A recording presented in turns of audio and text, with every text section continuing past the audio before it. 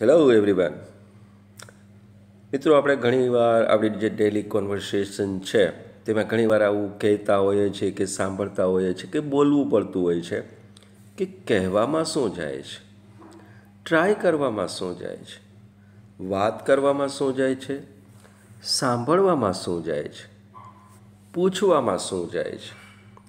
તો મિત્રો, આ પ્રકારના જે સેન્ટેન્સ છે, જેમાં શું જાય છે એવું જે સેન્સ આવે છે, એવા જે શબ્દો આવે છે, તો આને ઇંગ્લિશમાં આપણે કેવી રીતે ટ્રાન્સલેટ કરી શકીએ? તો મિત્રો, આનો રૂલ એકદમ એકદમ એકદમ ઇઝી છે. અહીંયા કશું નથી એના રૂલમાં જે શું જાય છે તેના માટે આપણે માત્ર આ વર્ડનો ઉપયોગ કરવો પડે છે. જુઓ, એનું સ્ટ્રક્ચર છે આ રીતનું. સૌથી પહેલાં આપણે લખવું પડે છે what goes to what goes to plus જે કંઈ ક્રિયાપદ છે, એ ક્રિયાપદનું વી વન એટલે કે બેઝ ફોર્મ લખવાનું છે અને ત્યાર પછી જો કોઈ અધર વર્ડ્સ હોય વાક્યમાં, તો એ લખવાના છે. વોટ ગોઝ ટુ એટલે શું જાય છે?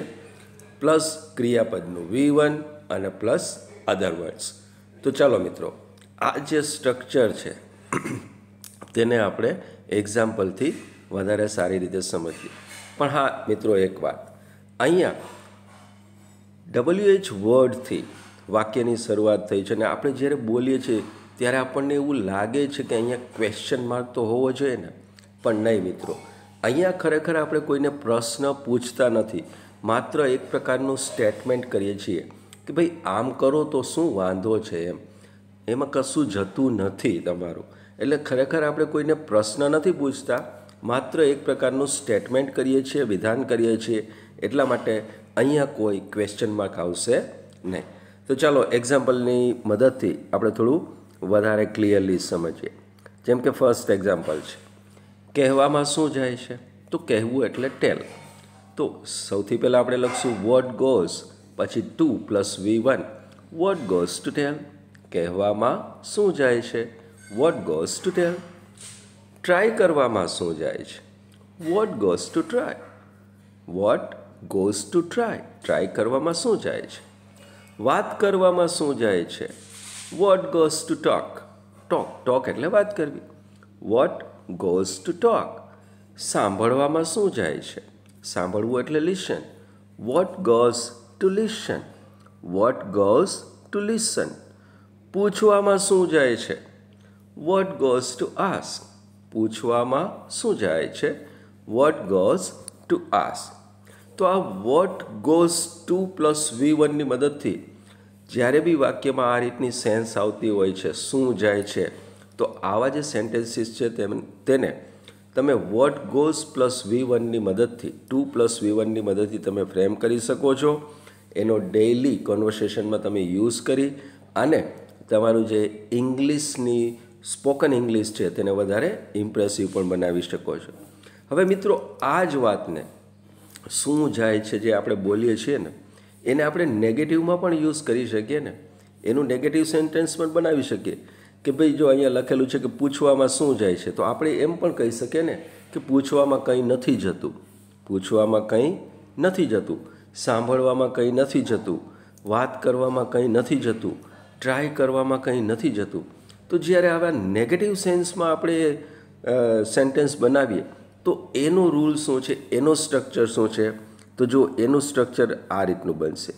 જ્યારે તમે આ રીતની વાત કોઈ નેગેટિવ સેન્સમાં કરો, તો વોટ ગોઝની જગ્યાએ આપણે શું લખવાનું છે?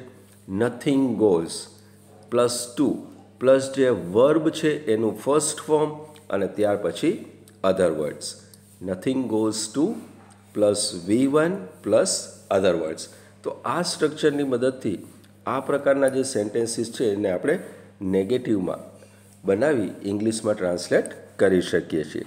ફોર એક્ઝામ્પલ પૂછવામાં કંઈ નથી જતું.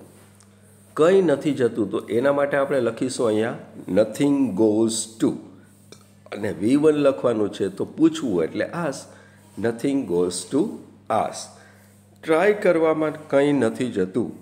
Nothing goes to try nothing goes to try કહેવામાં કંઈ નથી જતું. નથિંગ ગોઝ ટુ ટેલ કોઈને કહેવું એટલે ટેલ કહેવામાં કંઈ નથી જતું. નથિંગ ગોઝ ટુ ટેલ તો આઈ હોપ મિત્રો કે તમને મેં જે અત્યારે બે સ્ટ્રક્ચર શીખવ્યા છે, એનો યુઝ તમને બરોબર સમજાઈ ગયો હશે. અને આઈ હોપ કે આ બંને સ્ટ્રક્ચરનો યુઝ હવે તમે તમારી જે ડેલી કોન્વર્સેશન છે, તેમાં ચોક્કસપણે કરજો. અને સાથે સાથે યુઝ કરવાથી તમને પ્રેક્ટિસ પણ થશે અને તમારું ઇંગ્લિશ છે એ ઇમ્પ્રૂવ પણ થશે અને થોડું ઇમ્પ્રેસિવ પણ લાગશે.